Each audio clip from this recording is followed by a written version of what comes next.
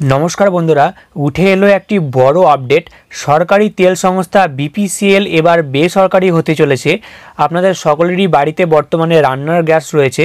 তো সেই রান্নার গ্যাসের অধিকাংশই আসে সরকারি তেল সংস্থা বিপিসিএল এর তরফ থেকে।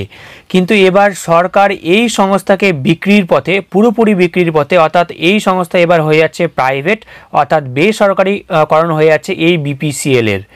তো এখন সব থেকে বড় প্রশ্ন উঠছে যে আপনারা গ্যাসের ভর্তুকি পাবেন তো? তো ইয়ে নিয়ে কি আপডেট উঠে এসছে জানব আজকের এই ভিডিওতে। তার আগে বন্ধুরা, আপনি কোন জেলা থেকে ভিডিওটি দেখছেন অবশ্যই কমেন্ট সেকশনে কমেন্ট করে জানাবেন।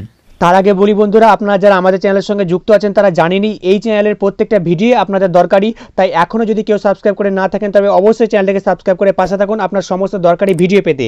সাথে বেল আইকনটিও প্রেস করে অল সিলেক্ট করে রাখুন লেটেস্ট আপডেট সবার আগে পাওয়ার জন্য। তো দেখুন, বলা হচ্ছে পুরোপুরি বেসরকারিকরণের পথে ভারত পেট্রোলিয়াম গ্যাসে ভর্তুকি মিলবে তো? তো এই বিষয়ে কী বলা হচ্ছে আমরা জেনে নেব।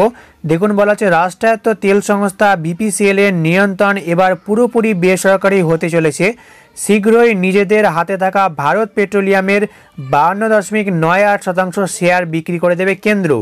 ভারতের দ্বিতীয় বৃহত্তম জ্বালানি বিক্রেতা সংস্থার বেসরকারিকরণের এই উদ্যোগ সিঁদুরে মেঘ দেখছেন এলপিজি গ্রাহকরা।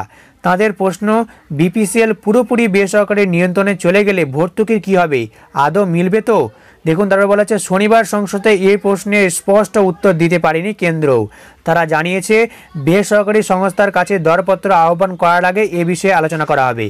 তো বন্ধুরা, এই যে বিপিসিএল সংস্থা, তো এই বিপিসিএল সংস্থা, অর্থাৎ যাদের ভারত পেট্রোলিয়াম, অর্থাৎ ভারত গ্যাস যাদের রয়েছে, তো সেই ভারত গ্যাস কিন্তু অধিকাংশই এই বিপিসিএলের তরফ থেকে আসে।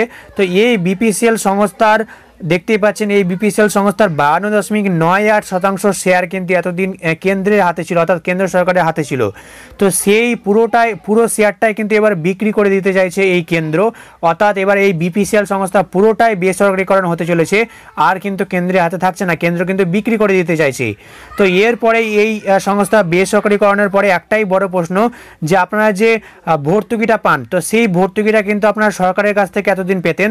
তো সরকার যেহেতু পুরো শেয়ারটাই বিক্রি করে দিতে চাইছে, তাহলে কি সেই সেই যে ভর্তুকিটা আপনারা পেতেন, তো সেই ভর্তুকি আপনারা পাবেন তো? এটাই কিন্তু সব থেকে এখন বড় প্রশ্ন।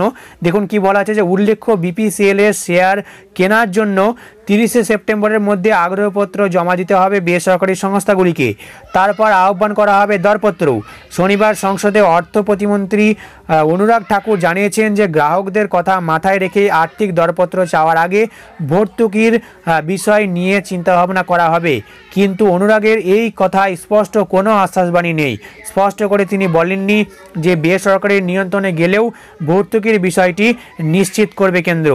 তার এই চিন্তাভাবনার আশ্বাসে তাই পুরোপুরি নিশ্চিত হতে পারছে না গ্রাহকরা। অর্থাৎ বন্ধুরা, এটা একটা বড় আপডেট যে এই যে বিপিসিএল সংস্থা, এটাকে কিন্তু কেন্দ্র সরকার পুরোটাই বিক্রি করে দিতে চলেছে।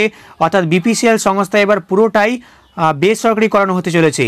তো আপনারা বুঝতেই পারছেন, এরপরে যে আপনারা যে ভর্তুকিটা পেতেন, গ্যাসের যে ভর্তুকিটা পেতেন, তো সেই ভর্তুকি আর পাবেন কিনা, সেটা কিন্তু একটা সম্পূর্ণ অনিশ্চয়তার ব্যাপার। তো এরপরে আবার যদি লেটেস্ট আপডেট উঠে আসে, অবশ্যই আপনাদের জানিয়ে দেবো। আর এই ভিডিওটি ভালো লাগলে অবশ্যই একটা লাইক করবেন। আর চ্যানেলে নতুন হলে চ্যানেলটাকে সাবস্ক্রাইব করতে ভুলবেন না, কারণ এই চ্যানেল থেকে আপনি পেয়ে যাবেন আপনার সমস্ত দরকারি ভিডিও তো বন্ধুরা, দেখা হচ্ছে পরের ভিডিওতে